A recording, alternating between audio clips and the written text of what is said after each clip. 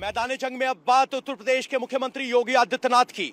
19 तारीख को पहले चरण का मतदान है और योगी आदित्यनाथ आज पश्चिमी यूपी में होंगे। उनकी पहली रैली आपको कैराना में देखने को मिलेगी। कैराना के बाद बुलंदशहर के नगीना में योगी आदित्यनाथ एक सभा को संबोधित करेंगे और शाम को सहारनपुर में एक रैली करते हुए नज़र आएँगे। योगी आदित्यनाथ लगातार यूपी में प्रचार की कमान संभाले हुए लगातार विरोधियों पर हमलावर है।